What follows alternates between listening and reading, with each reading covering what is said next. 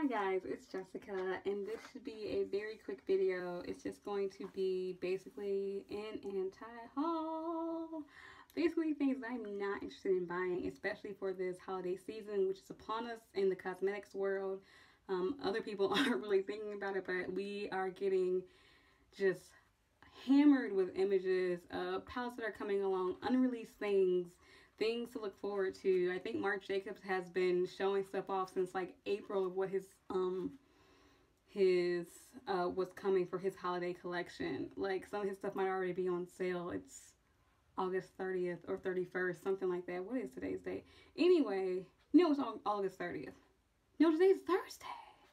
It's August 31st. So like it's just there are lots of things to wade through, decide on what you're getting. There are a couple of things that I know for sure that I really want to get my hands on, but that's not what this video is about.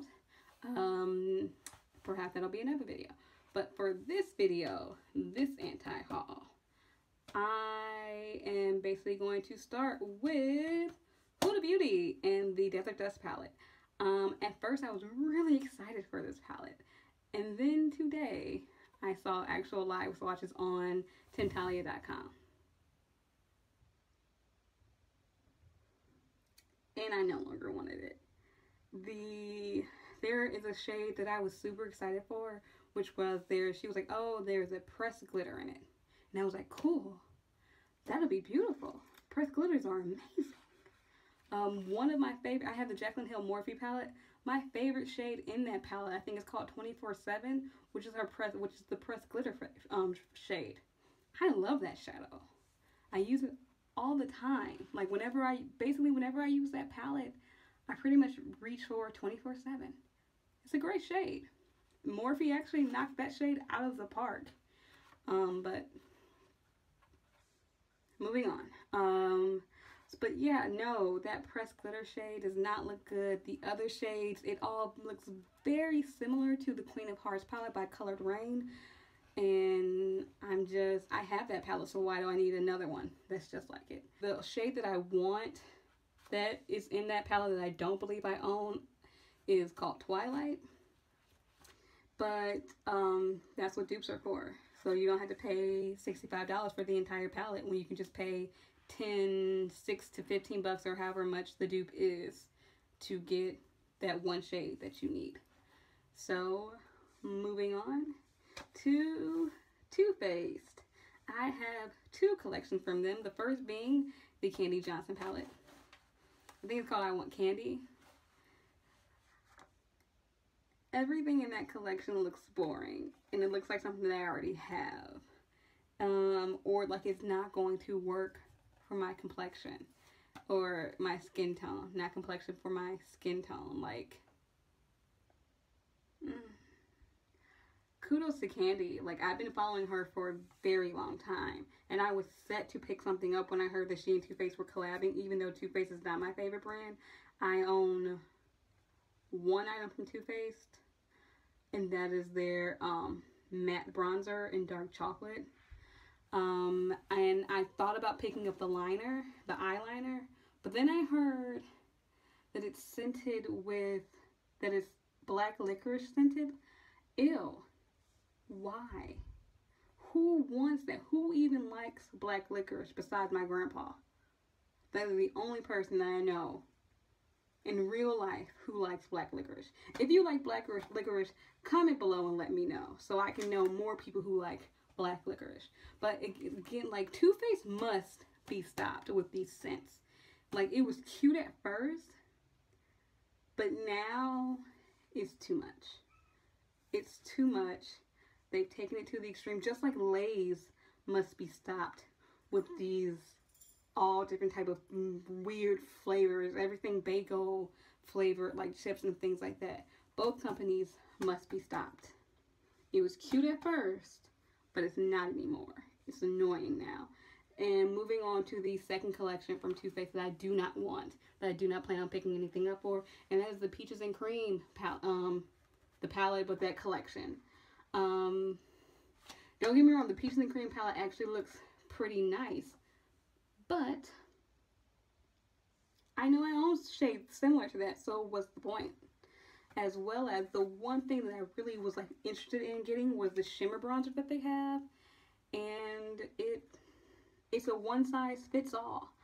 How Too Faced? How is something that will be deep enough to bronze, say someone of Viola Davis complexion, that'll be too that'll be too dark for me. And then someone say of like Kristen Stewart's skin tone, she's fair. That'll be too light for me. Like how like you the reason why there are different shades of bronzer because there are different shades of people Too Faced Like that's not how this works. It's not how any of this works. And then moving on to something that I'm really actually sad about, but then again I saw like the actual like look of the lipsticks and it became an instant no for me and that is the MAC and Nicki Minaj collaboration. Like I was really actually excited for those lipsticks. The first image that I saw them, they looked like this these beautiful like chocolate like lipstick colors. And then when you actually saw them in life, they're pink. There are two different shades of pink, two different two light shades of pink. I would definitely need a liner for them. And as someone who enjoys Nicki Minaj not just for her music but for her personality and the way in like the um, things that she does with fashion, how she takes risks. Like, why Nicki? Why couldn't one of them be pink and then one of them be brown? Why did they both have to be pink? They didn't, but I'm sure they will sell out because the Barbs go strong. I myself am a part of the agency the Beehive. I also consider myself to be a part of the Navy, which is Rihanna. She's not a part of this. Um, but like, like if the three, oh, if Beyonce and it, cause all we need is Beyonce now to release makeup, and then we'd be set. The music trifecta for black girls. Ooh, and SZA.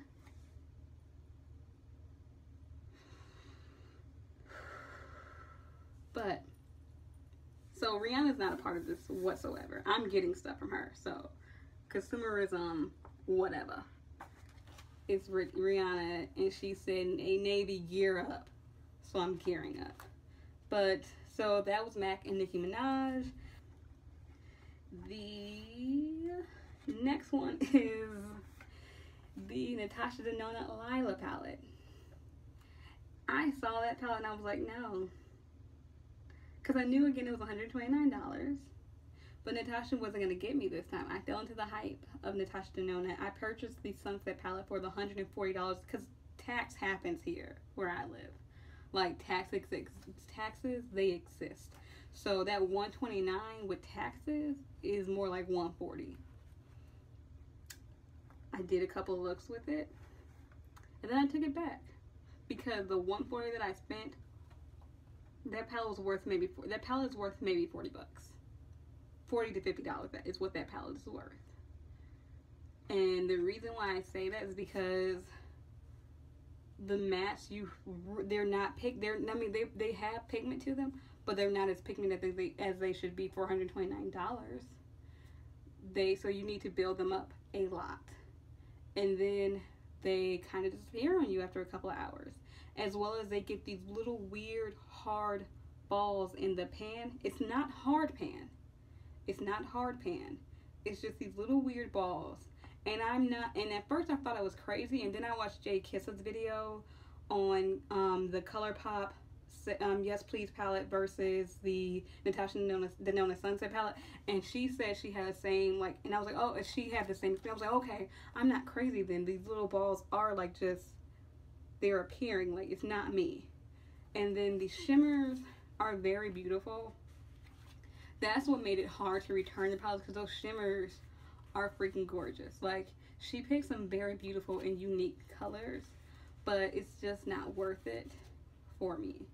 And there was nothing in that palette that was like, oh, I've got to have that color.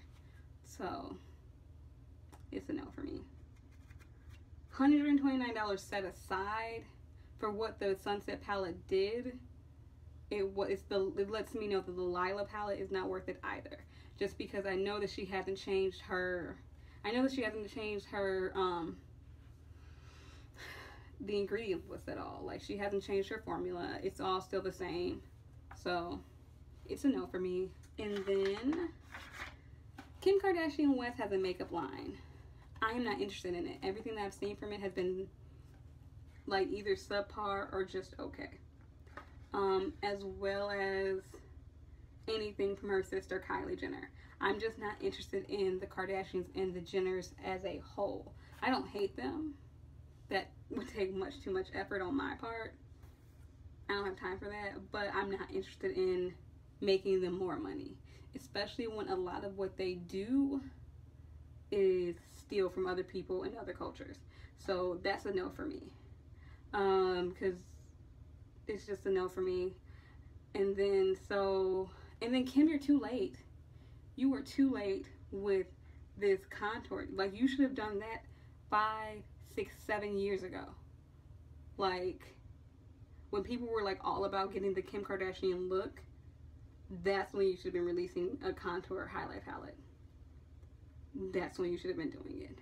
The same thing goes for Kat Von D. Like I, I have two of Kat Von D's um, liners. I like them, but they're a little bit late. Like, and I love the I love the Kat Von D brand, but it's just a little bit late. Like I feel like she should have came out with those liners like three four years ago. That's just my opinion. And I'm sure the thing about with Kat is that she just wants to make sure that things are perfect.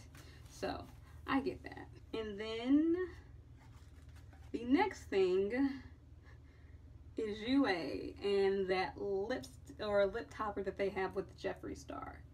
I'm not going to go into anything about Jeffree Star. By now, you already know what was said.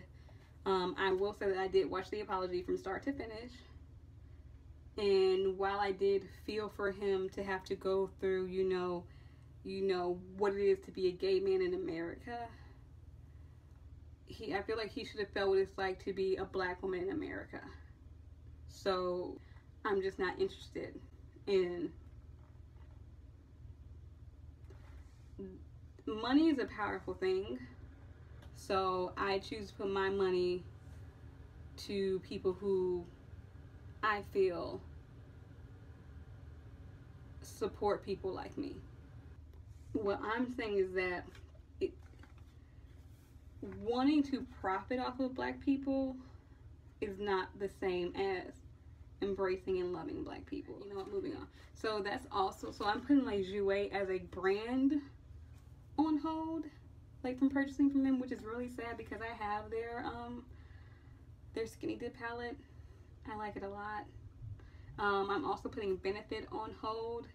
And Benefit is not just because of Jeffree Star, but because they thought that they were going to release these minis with the faces of different YouTube gurus, YouTube and beauty gurus and sell it for sell it to people like it was a collab. That's not a collab. You just slap their faces on boxes. Like, no thank you. No thank you. And I love me some, some Nicole Guerriero. Get your money, girl. In fact, all of y'all get y'all's money. But benefit, don't don't try and play me. Don't try and play me. Like, we're not stupid. Like that wasn't that collab. No, you just slap their face on a product that they say that they like. Um, but that will be the end of this anti-haul. Um, there, I will try and do a video on um, things that I am interested in buying. Um, one of them I'm sure uh, you saw was the Rihanna collection. Can't wait for that. Um, so So thanks for watching guys. Like, share, comment, subscribe. Um, if you have a disagreement with me about any of this, I know the Jeffree Star topic is very a hot button issue because racism is a hot button issue. But um, if you are going to comment, keep it classy, keep it cute, keep it respectful. Um, all right. Thanks for watching, guys.